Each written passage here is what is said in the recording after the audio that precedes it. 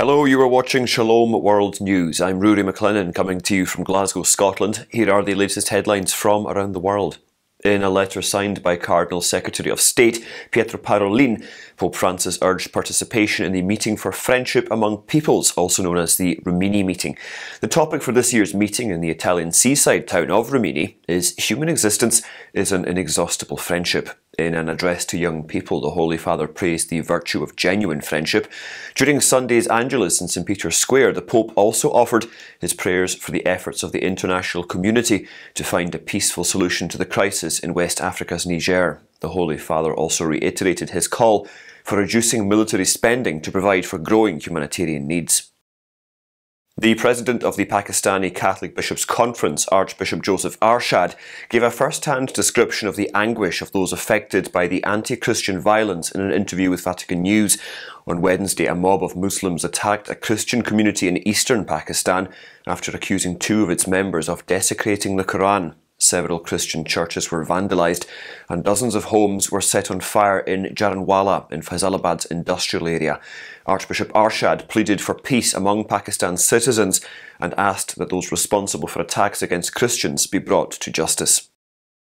On Saturday, Nicaraguan police evicted six Jesuits from their residence on the campus of the university run by the congregation.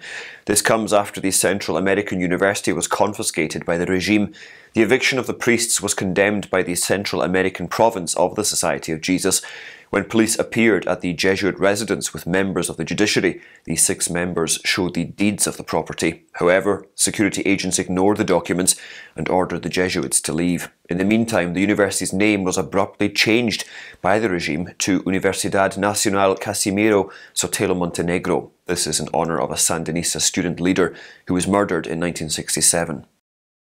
The US State Department on Saturday imposed visa restrictions on 100 more Nicaraguan officials for their role in supporting the oppressive regime of President Daniel Ortega. Secretary of State Antony Blinken wrote on his social media accounts that his office has taken steps to impose visa restrictions on officials who restrict Nicaraguans' human rights and undermine democracy. Blinken called on the regime to unconditionally release Bishop Rolando Alvarez and all those unjustly detained. The prelate is an outspoken critic of the Nicaraguan government and was jailed by the Ortega regime for supposedly helping anti government protesters. He was sentenced to 26 years in prison after he refused to board a plane carrying exiles to the United States in February. In the US state of Massachusetts, a Catholic school system has brought out a new policy that mandates students to use their names and pronouns given at birth. The new policy also wants students to conduct themselves in a manner that is consistent with their biological sex. This will be enforced in 21 church schools, with over 5,000 students in Worcester, around 45 miles west of Boston, from this fall semester. A statement was issued on the solemnity of the Assumption and was approved by Bishop Robert McManus of Worcester. Superintendent of Catholic Schools for the Diocese, David Perda, said that although some schools had similar policies, individual situations underscored the need for a single policy. The Cuban Bishops' Conference published its pastoral plan for 2023 to 2030, encouraging Cubans to accompany them in one of the most difficult moments in the history of the country. The pastoral plan calls on believers to have a constant conversion to Jesus Christ on a personal and community level. In the document titled Convert and Believe in the Gospel, the prelates are seeking trust in the Lord. They invite Cubans to seek God to meet again as brothers and sisters. In the document, the prelates said, like the Good Samaritan, let us allow ourselves to be challenged by reality, to reach out to the wounds of others and embrace them to heal, restore, and comfort, because this is what the Lord does with each one of us. An American former high school soccer coach who lost his job for publicly praying on the pitch has been reinstated. Joe Kennedy took his grievance to the US Supreme Court last year, and the top court has ruled in his favour. This season, he is back at the Bremerton Knights high school football team in Washington state after he prayed on the field with players in 2015. The school district refused to renew his contract. In court, Kennedy argued that his right to pray was protected under the First Amendment. The school district said it was looking forward to moving past the legal distraction and added that it would comply with the court order to treat Kennedy's personal religious conduct the way the district treats all other personal conduct by coaches at football matches. In the US state of California, Republican Party officials have expressed their desire to nix certain anti abortion and same sex marriage positions from the party platform in the state. This is seen as an attempt to prevent the erosion of party supporters in California, which is increasingly known for supporting left wing ideals. This proposal was adopted by a party committee last month and could be voted on at the Republican Fall Convention in Anaheim. Although the draft of the proposal highlights support for traditional family values, it has removed the definition of marriage as a union between one man and one woman. If the proposal is approved, the modifications could shake up things before the presidential elections next year.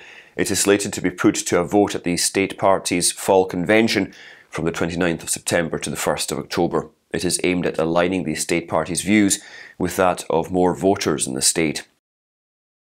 US intelligence sources are warning that the Islamic State insurgency is once again rearing its head in Syria.